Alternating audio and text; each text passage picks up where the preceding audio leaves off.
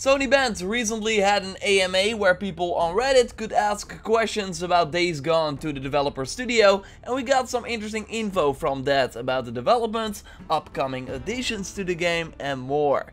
So let's get into it, it would be awesome if you could leave a like on the video as it shows your support and let's go. Let's start with something that Sony Bend is working on that will be implemented in the future. That namely has to do with the aiming in this game, like the dead zone and the lag you sometimes have while aiming.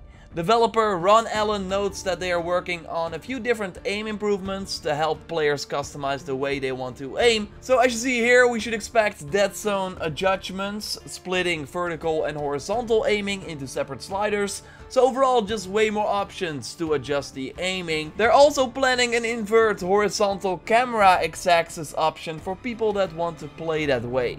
Just a limited amount of games have that at launch, but more and more seem to at least add it post-launch. So just like Days Gone, they're also looking into more accessibility options for people that for example are unable to do the QuickTime events in the game. So great news, might be something we will know more about soon.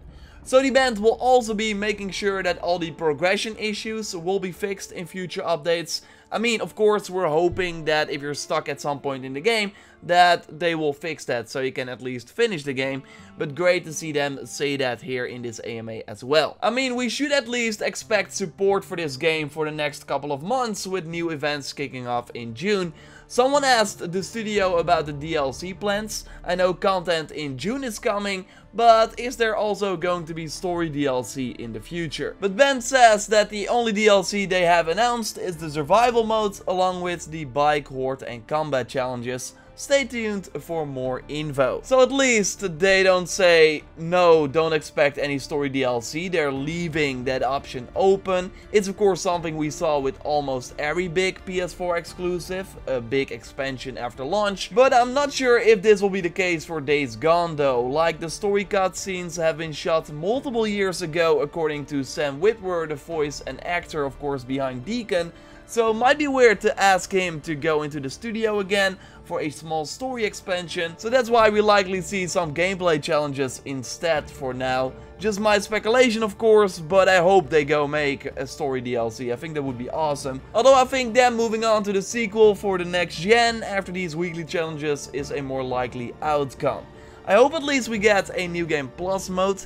They said there will of course be the new survival difficulty that will be way more challenging than the hard mode, but being able to play that mode with all your skills and weapons would be way more fun than starting all over in my opinion. But really everyone that asked about a New Game Plus mode in this AMA was simply ignored and there were a ton of people asking about it. So I think that they know that people want it, but they haven't said a word about it. So I would not hold my breath for a New Game Plus mode in Days Gone.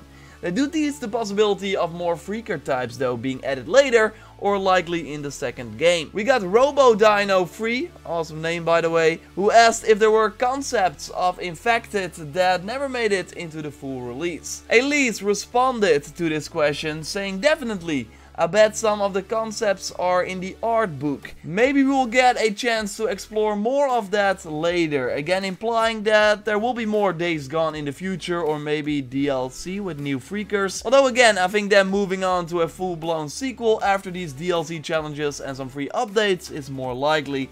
But it's really cool to see that there is totally a future for the franchise. I mean, of course we got the amazing tease during one of the final storyline missions. I won't spoil any of that of course, and Sony Bend was already hiring new people before the game was even out. So there seems to be a future for sure, and the sales should be pretty good for the game as well, especially since it was made by a pretty small team.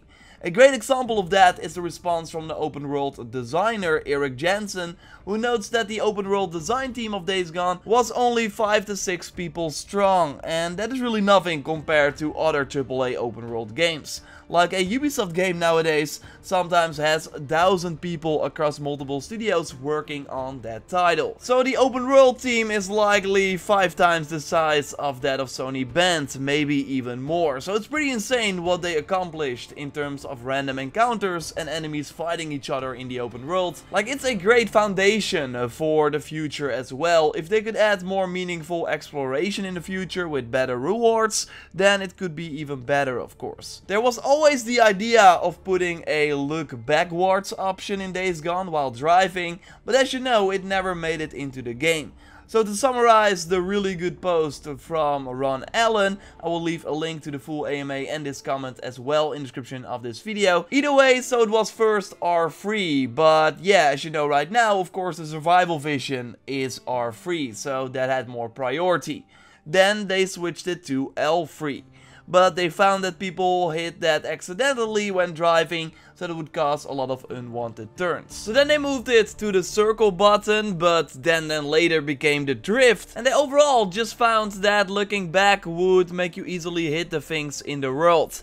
Like we all know that it might sometimes be even hard to dodge things on the road when you look ahead, let alone when you look backwards, so they decided to not implant this feature in the end. Again, a link to the full AMA in the description so you can scroll through all the answers if you want. These are the things that I thought were nice to highlight here in this video.